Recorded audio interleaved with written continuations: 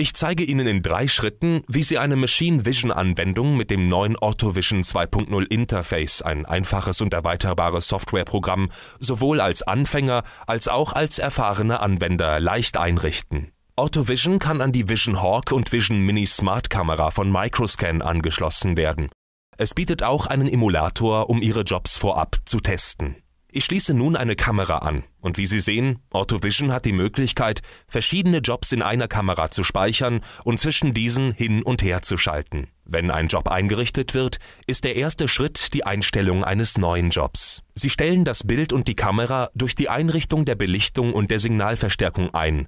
Wenn benötigt, ändern Sie die Beleuchtung und den Fokus. Sobald das Bild genau eingestellt ist, können Sie in den Edit-Modus gehen und Ihren Machine Vision Job einrichten. Diese Einstellung zeigt Ihren Machine Vision Job auf der linken Seite des Bildschirms, die verfügbaren Funktionen oben und das Bild, welches wir kontrollieren, ist im Zentrum des Monitors. Die Parameter der Funktionen sind rechts zu sehen. Die verfügbaren Werkzeuge im AutoVision 2.0 sind Lokalisierung, Dekodierung, optische Zeichen oder OCR, Zählen, Vorhandensein Abwesenheit, Messung von Distanzen und Winkeln, Abgleich der Datenfolge, Abgleich der Datenformatierung, Erstellung logischer Arbeitsabläufe der Funktionsergebnisse, optische Zeichenverifizierung oder OCV und Überprüfung der 1D-2D-Symbolqualität.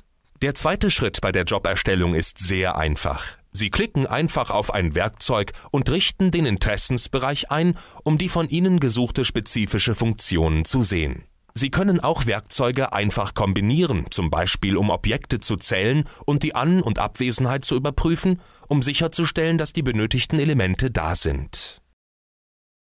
Sie können Werkzeugparameter und den Grad für gut, nicht gut einstellen.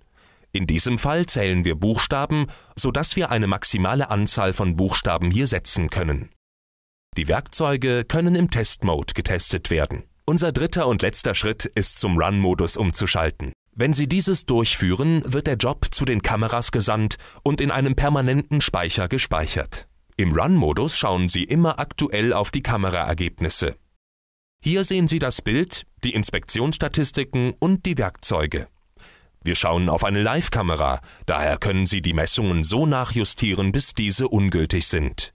Sie können das Scheitern der Funktion hier auch sehen. Dies zeigt, wie einfach die Erstellung eines Machine Vision Jobs mit AutoVision ist. Erstellen Sie ein Bild, erstellen Sie ein Programm im Edit-Modus und lassen Sie es im Run-Modus laufen.